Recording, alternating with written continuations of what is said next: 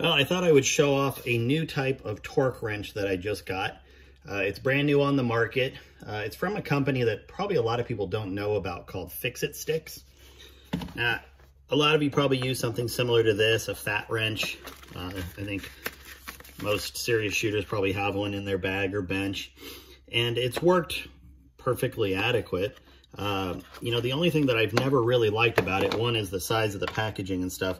And two is the fact that uh, in order to use it uh, to unscrew anything, you have to, you know, torque it all the way up and then loosen something and then adjust the torque again.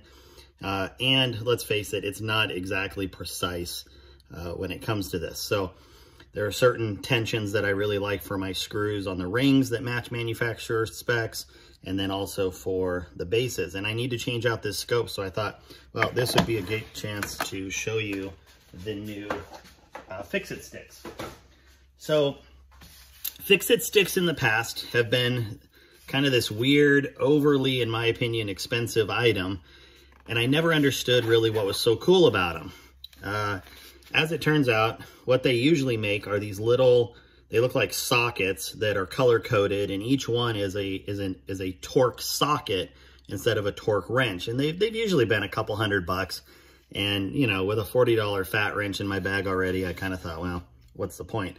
And then I saw they were coming out with an all-in-one, and it's a little over a hundred bucks. And I thought, well, for the size of the, the package and what it's doing, this might be a great addition to my bag. So uh, they don't do any branding on the bag, which I think is kind of weird, but uh, maybe it just keeps costs down. But I kind of thought maybe a logo would uh, be nice. Uh, but, you know, it is what it is.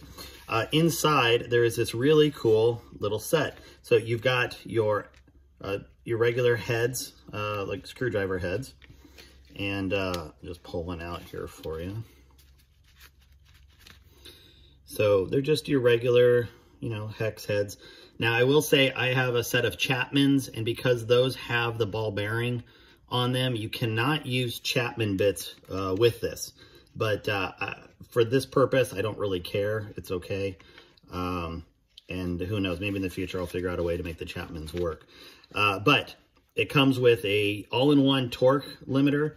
It comes with a really nice uh, little T-wrench, which I'll show you in a second. Here's your torque limiter, and it's preset with numbers all the way from zero up to 65. Now, you can't exceed 65, and you cannot use this piece to undo any kind of nut or bolt, and I'll show you more in a minute. It comes with a standard um, half-inch drive socket, which is perfect for just about everybody's uh, rings as far as mounting them on your rail. And so here's what you're going to do with it. This piece in and of itself is a fixed piece. Nothing moves on it, and all three sides are the same. So you've got you've got the hex on all three sides, and then it does have uh, kind of a slip on it here that's held in place. And so that is nice when you're when you're turning stuff. So what you would do is, in this case, I'm taking off the whole scope. I put on my half inch drive and I can choose to either put it on the long side and have a little less torque and it'll be a little faster to unscrew or I can put it on a side and in this case these are going to be a little tighter so I'm going to undo these with a little bit of extra torque on them here. Okay, now I could switch it over and go ahead and spin these things out. And, and there's nothing really that remarkable about that particular part of the process other than to say that, you know, again, these fit beautifully on top of the existing ones there. I always had to keep an extra uh, half inch in my fat wrench on uh, a shaft that I bought from like Harbor Freight or Home Depot or something. Um, I love that they include this with it. So, all right, there's the old scope coming off. And uh, for what it's worth, this is my old Kahles 1050. Uh, I've been asked to test out a brand new Mark V Leupold. Uh, this has a uh, just released reticle in it that is designed for first for F-class shooting. It's it's actually really cool. Uh, so I'm very excited to give it a run. So I know where I want to mount this. And uh, in this particular case, the bolts are on the right side for the time being.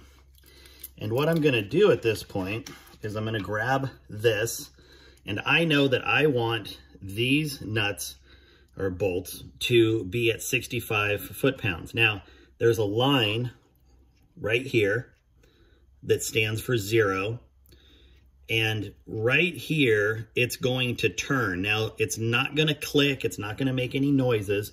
So I do have to watch. But as you turn this, this piece will stay still. This will turn around it, applying the proper amount of torque. So I've got it situated here. And I'm gonna get these on, kind of tighten them both up a little bit.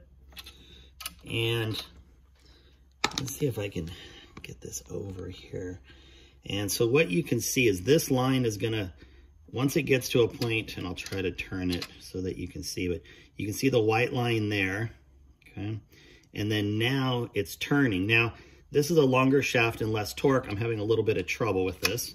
So I'm gonna shift it so that I can now torque it more. Oh, it's so much easier. Okay, so that gets me up to 65. Let's get this baby all the way up. So there it goes, and the lines match up. That's 65. So let's come back to this one now. And we're gonna do the same thing. And 65. Beautiful. No messing with the bottom, no doing anything like that. I know these are both set for 65 and I got nothing to worry about. Now, I don't know for sure that the person that gave this to me uh, had uh, everything set exactly correct in the uh, torque settings. So, and, and it is nice in here. They give you some extra, uh, extra spaces where you can put in some extra bits that you want. So I'm actually going to go through, I haven't had a chance yet, and, and this is probably not the best way to be doing this video, but uh, I don't have a Torx bit. Give me one second here.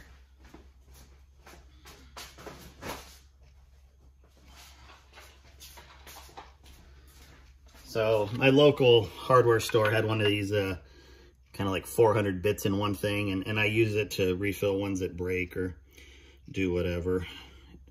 So let's find, let's find one that fits.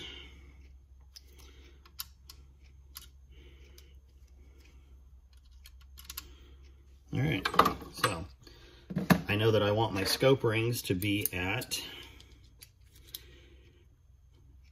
right about 20. So same thing, we're just gonna come in and boop, there's 20. Actually, right about 19 is what I want. And so I know where this thing is gonna sit to get me to 20. Now this one was a little loose, so I'm glad that I'm checking these. So there's 20, 20. And this is so fast to do it this way instead of going through and, and trying to reset the torque wrench every time. All right, so all these are, are now firmed up right at 20, and these are set at 65. So that's about as easy as it gets. Uh, again, I love the size of this pouch though. It fits really nicely in my range bag and uh, it kind of, it's like got a Velcro piece in the middle, so it's sort of a, a book piece. So uh, it's easy to get on the backside and push a bit out if you need to. Anyway, thought I'd show you and hope you enjoy.